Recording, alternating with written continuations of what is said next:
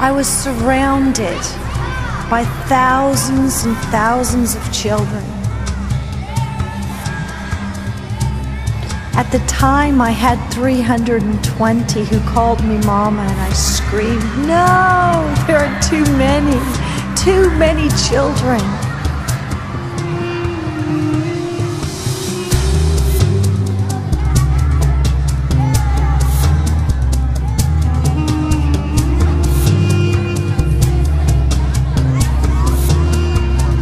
And then, oh, then, there he was.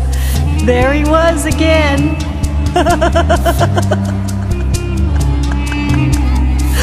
My Jesus, standing, looking at me, looking at me, surrounded by the same children.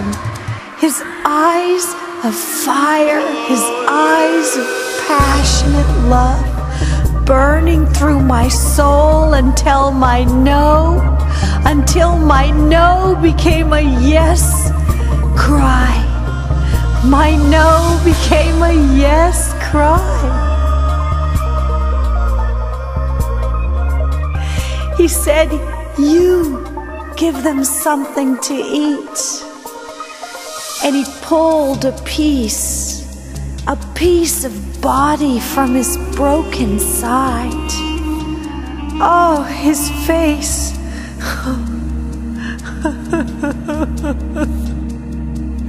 his face is so beautiful and so full of light and so full of glory, and his body so hideously bruised and beaten, broken, tortured. I looked at that piece of flesh. I thought, how, how could I give that to a child?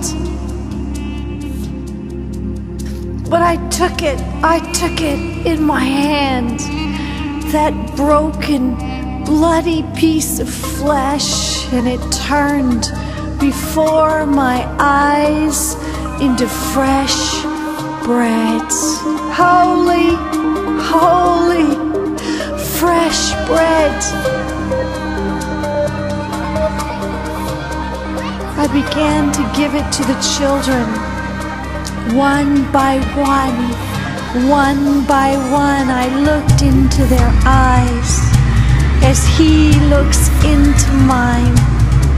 And thousands and thousands and thousands of them ate the fresh bread from His side. He said, Look into my eyes. And as I gazed into the beauty, oh,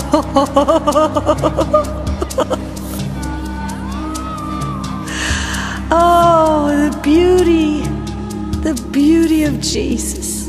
Hey, he said, I died that there would always be enough.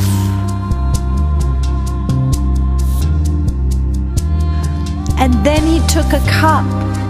It wasn't a jeweled cup, it wasn't a golden cup, it wasn't a spectacular cup.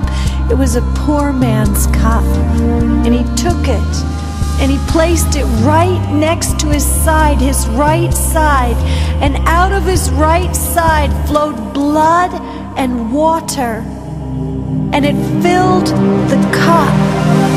I knew it was a cup of suffering and joy.